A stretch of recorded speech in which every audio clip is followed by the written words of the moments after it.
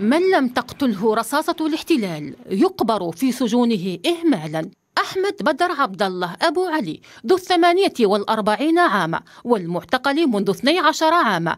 ارتقى الجمعة بعد تدهور حاد في حالته الصحية جراء تعرضه لجريمة الإهمال الطبي المتعمد من قبل إدارة سجون الاحتلال. الأسرى يعلنون الاستنفار والحداد ثلاثة أيام عقب استشهاد الأسير أحمد أبو علي. نادي الأسير الفلسطيني قال إن هؤلاء الأسرى قرروا وقف كافة مظاهر حياة الاعتقال اليومية في السجون احتجاجا على استمرار جرائم القتل البطيء التي تطالب وزارة الخارجية الفلسطينية المجتمع الدولي بتحمل مسؤولياته وفتح تحقيق بشأنها على المحكمة الجنائية الدولية ولجنة التحقيق الدولية المستمرة المنبثقة عن مجلس حقوق الإنسان تحمل المسؤولية والتحقيق في جريمة استشهاد الأسير وكشف ملابساتها.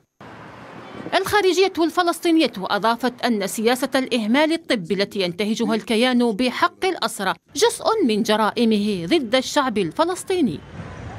وفي الضفة والقدس المحتلتين مشهد الاعتداءات والاعتقالات بات يتكرر يوميا. فلسطينيون أصيبوا بالاختناق وبرصاص قوات الاحتلال ومستوطنيه في مدينة جنين وشرق القدس وفي قمع مسيرة مناهضة للاستيطان شرق نابلس واعتقل آخرون.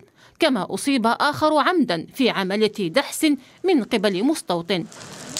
ما يتعرض له الشعب الفلسطيني من قمع على يد قوة الاحتلال ومستوطنيه يعد حربا مفتوحة عليه.